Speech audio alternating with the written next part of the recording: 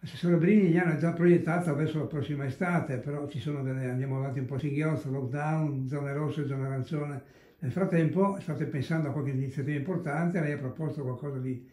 impegnativo e interessante. Sì, eh, abbiamo chiesto, ho chiesto che un eh, capogruppo in regione facesse una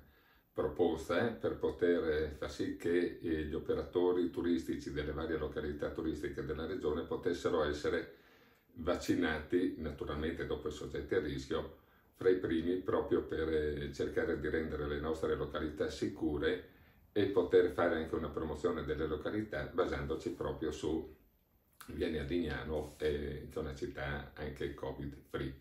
A questa nostra idea si è aggiunta anche Grado e ci fa piacere, anche perché eh, noi vediamo che c'è tantissima voglia di mare da parte dei turisti e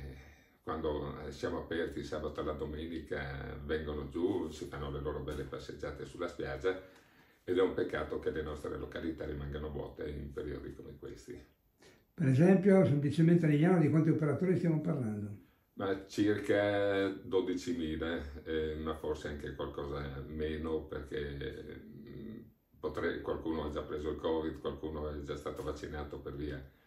dell'età e quindi forse saranno 10.000 vaccini che potrebbero servire per vaccinare tutti gli operatori e naturalmente anche i dipendenti degli operatori perché il virus eh, lo si può trasmettere involontariamente anche da parte di un dipendente e quindi noi vorremmo che siano tutti, tutte le persone tranquille.